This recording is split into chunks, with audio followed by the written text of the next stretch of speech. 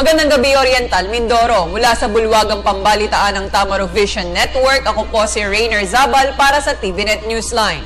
Ika-anim sa buwan ng Marso taong 2019. Sa ulo ng ating mga balita, PNP Chief PDG Albayalde pinalalahanan ng kapulisan sa nalalapit na eleksyon. Balay Silangan sa Bayan ng Gloria, Pinasinayaan. Campus Caravan ng Pidea Mimaropa patuloy na isinasagawa. At Honesty Little Library magbibigay daan sa mga bata na magkaroon ng hilig sa pagbabasa. Sa detalye ng ating mga balita, sa layuning makapagpatayo ng reading center sa bawat barangay sa buong Mindoro, bumuo ang Divine Word College of Calapan Library ng isang proyekto na tinatawag na Honesty Little Library na maaaring magamit ng sinuman. Ayon kay Mary Ann Quesada, Technical Services Librarian ng nasabing paaralan, ang Honesty Little Library ay isang open access library o micro-library ng bawat komunidad. Tinatawag itong honesty dahil walang lock o walang sino man ang nagbabantay sa naturang library. Maari ring iuwi ang libro na iniram sa kanilang bahay at ibalik muli rito ng anumang lugar at oras. Ito pong Honesty Library ay open access library. It is a micro-library for every communities.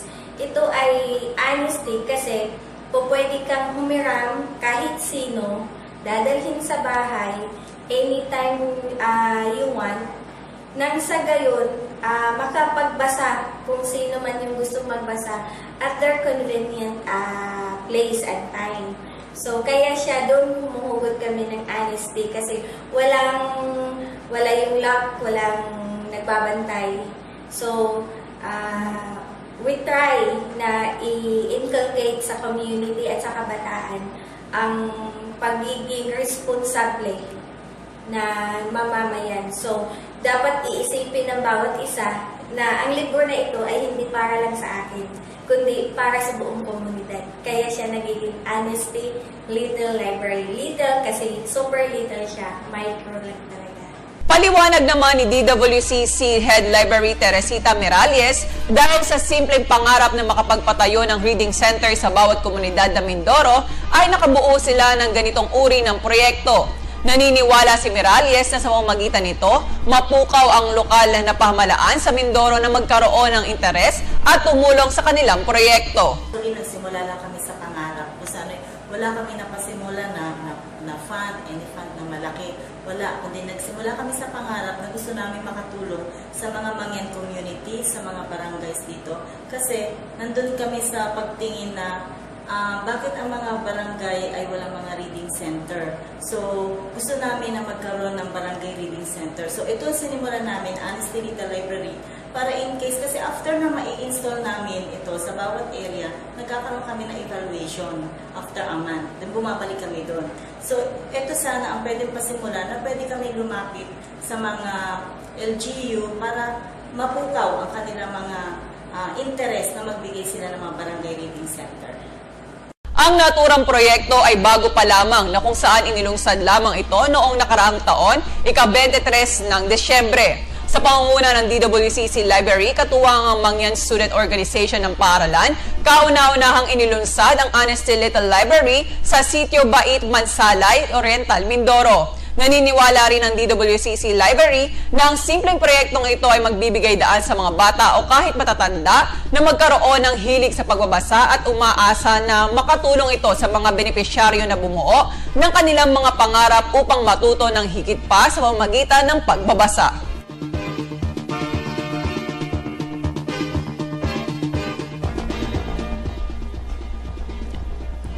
Kaugnay na balita, Simula nang ito ay nilungsad noong nakaraang taon, lima ng Honesty Little Library ang naitayo sa lalawigan ng Oriental Mindoro. Ang una ay sa Sitio Bait ng Mansalay. Tatlong HLL project naman na matatagpuan sa loob ng DWCC. Ito ay sa Batibot, DWCC Toda at Yayastan ng Basic Education ng Paralan noong nakaraang ikatatlo ng Marso. Inilungsad ang ikalamang unit ng micro library para sa mga iraya ng Paraway Mangyan School ng Puerto Galera. Sa katagang Great Things Start from Small Things ng isang TV commercial, naniniwala ang pamunuan ng proyekto na bagamat maliit ang naturang proyekto, ay malaki naman ang may tutulong nito sa mga komunidad na magkakaroon na nito. Ayon kay DWCC Head Librarian Teresita Miralles, simula sa maliit na bagay ay maaari silang mangarap ng malaki para sa mga benepisyaryo ng proyekto. Target nilang magkaroon ng 200 Honesty Little Library sa isla ng Mindoro. Actually, ito ay nagaling kay Miss Mary Ann Quesada. Siya yung project director. So, ito ay yung Milo commercial na great things ah, start from small beginnings. So, kami kasi naniniwala na itong micro library namin, maliit, pero possible na ito'y makatulong sa mga community na pinagdalhan namin.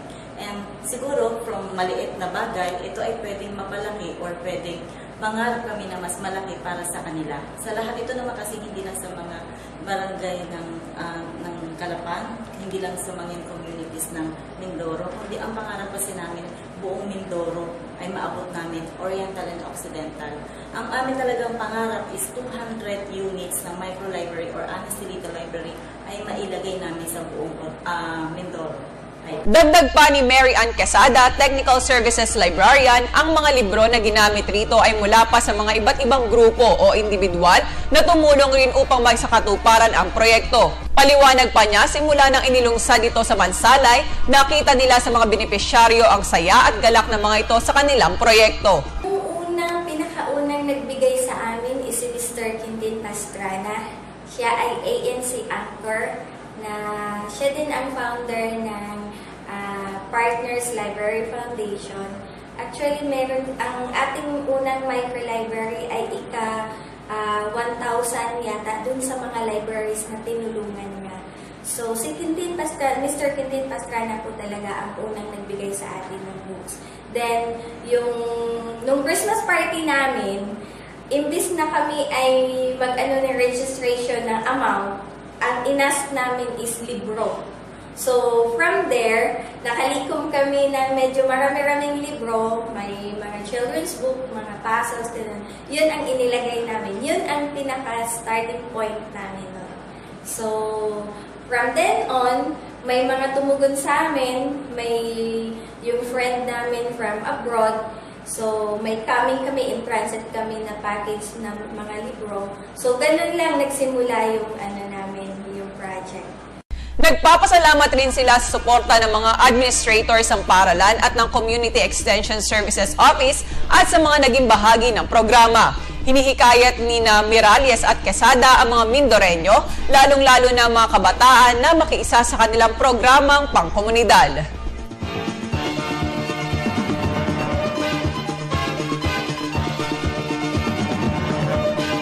Antabayan iba pang mga balita sa amin pong pagbabalik.